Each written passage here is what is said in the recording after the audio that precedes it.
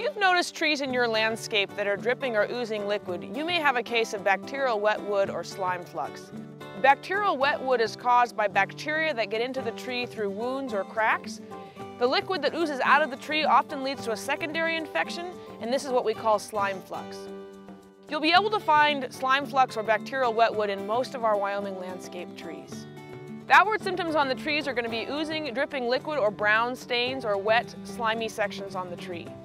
In some cases, the dripping liquid will also kill the grass underneath the trees. Unfortunately, there's no treatment for wet wood or slime flux, and the best thing you can do is to prevent injury to your tree and to keep it well watered. In some cases with small infections, you can trim out the damaged bark down to the healthy wood and the tree will heal. Ask your local county extension educator for more information.